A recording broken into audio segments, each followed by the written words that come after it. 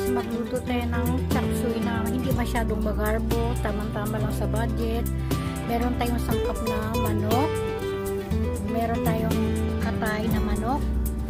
Meron tayong carrots. At meron tayong sibuyas, bawang, sayote. Uh, teka, ito lang isa pala. Ito ay cauliflower. Ito ay chicharo. Meron tayong broccoli. At meron pa pala kung binabanggit. Ito po, bell pepper. At saka oyster sauce. Meron tayong soy sauce. At meron tayong nor chicken. Ito pala, kenchay. Meron pala tayo. Kasi hindi ako nakabili ng celery. Itong kenchay, pwede nito. Nagpapabango to sa ating pagluluto ng chop suey magigisa lang tayo ng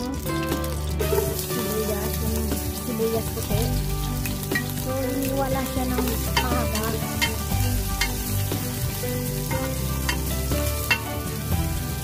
Sunod ang bawang. Isahin na lang natin siya ng maayos.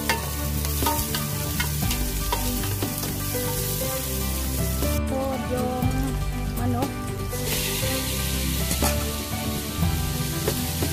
Bali ang manok, tinanggalan ko siya ng buto. Ang buto kanina, sayang naman yung panglasa noon at saka meron pa ng nahagit na laman. Pinakuluan ko muna sa init tubig. Pinakuluan ko muna siya para yung lasa noon, bali yung sabaw noon, ilalagay ko siya dito. Sunod, isama na natin itong atay ng manok. Itong atay ng manok, pag nagluto ka ng chop suey, ito talaga malasa talaga ito. Isa lang natin to. Ngayon po, isunod natin yung oyster sauce. Isang pakete na malaki. Yan. At imimix muna natin sila. Pag nakulangan ka sa lasa nito, mag-add ka na lang ng soy sauce Ayan.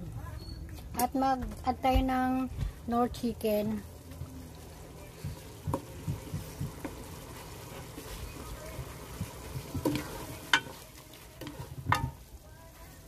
Maglagay na tayo ng tubig. Mag-add na tayong tubig. Nagdagdag na rin ako ng konting tubig kanina, pero kulang. Pakuluan ko muna, tatakpan. Ayan, kumulo na. Ilagay na natin yung mga gulay. Unahin muna to ang carrots pala. Carrots. Sayote. At cauliflower pala.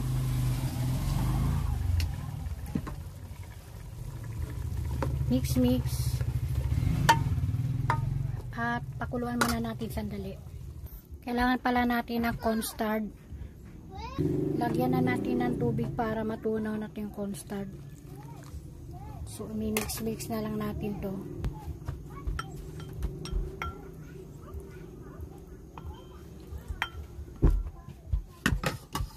yung tangkay ng broccoli isama ko nakalimutan ko ilagay kanina. Pakuluan muna natin to. May nakalimutan ako sabaw ng manok na pinakulang ko kanina. Dagdagan magdagdag ako ng konti. Ayan na. Mag-add tayo ng asin. Sunod ilagay na natin tong bell pepper. Ang broccoli.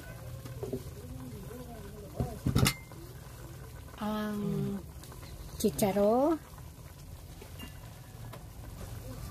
Ang kenchay. Kuluan ba natin sandali? Itong bagyo pechay ito na pinakahuling gulay isusunod ko. Hindi ko kasi ito nabanggit kanina yata eh ayan sunod natin itong bagyo pechay wala lagay muna tayo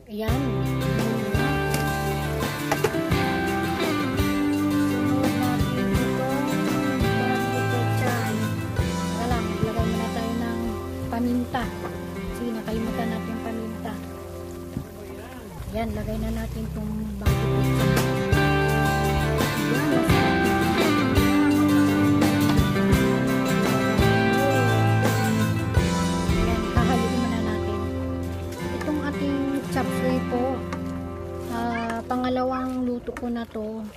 Nakaraan mas, gra- mas garbo na karaan marami mga sahok. So ito, kunti lang so na manok lang to.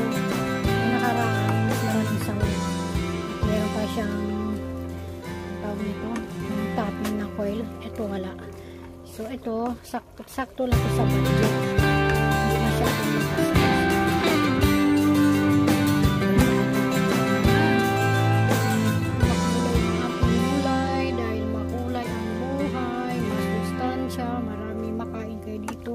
Super sustansya po itong ating niluto. Swak pa sa budget. Sunod yung cornstarch para naman lalapot-lapot yung itong.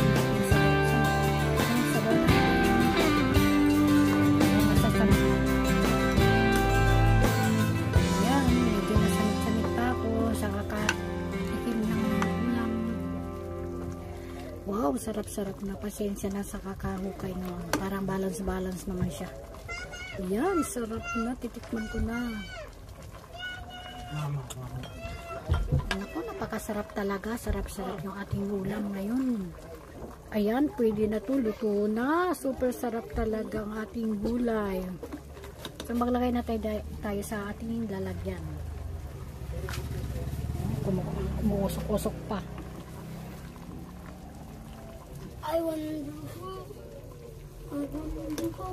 Kalimut, nakalimutan mo patay yung kalan.